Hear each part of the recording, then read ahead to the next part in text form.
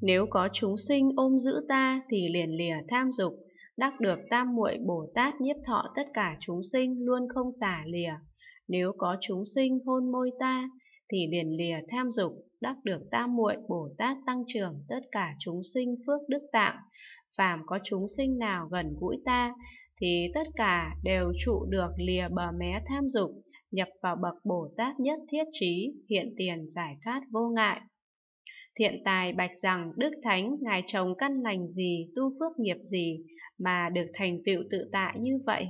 Đáp rằng thiện nam tử, ta nhớ quá khứ có Đức Phật ra đời, hiệu là Cao Hạnh, thành vương đô đó tên là Diệu Môn.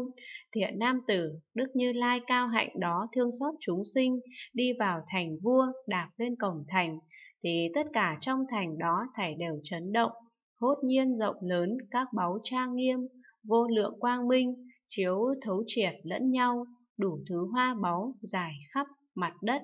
Âm nhạc của chư thiên đồng thời đều tấu lên, tất cả chư thiên đầy khắp hư không. Thiện nam tử, lúc đó ta là vợ của ông trường giả tên là Thiện Huệ. Ta thấy thần lực của Đức Phật bèn sinh tâm giác ngộ, liền cùng với chồng đi đến chỗ Đức Phật, đem một đồng tiền báu dâng lên cúng dường Đức Phật.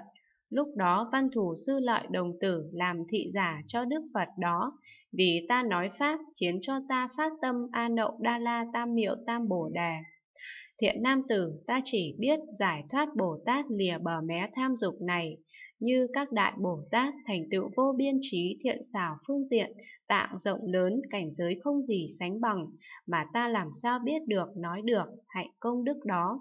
Thiện nam tử ở hướng nam này có thành tên là thiện độ, trong đó có cư sĩ tên là tỳ sắc chi la.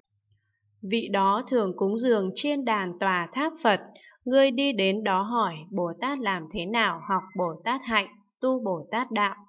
Bấy giờ thiện tài đồng tử đảnh lễ người nữ bà tu mật đa rồi đi nhiễu quanh vô lượng vòng ân cần chiêm ngưỡng rồi từ tạ mà đi.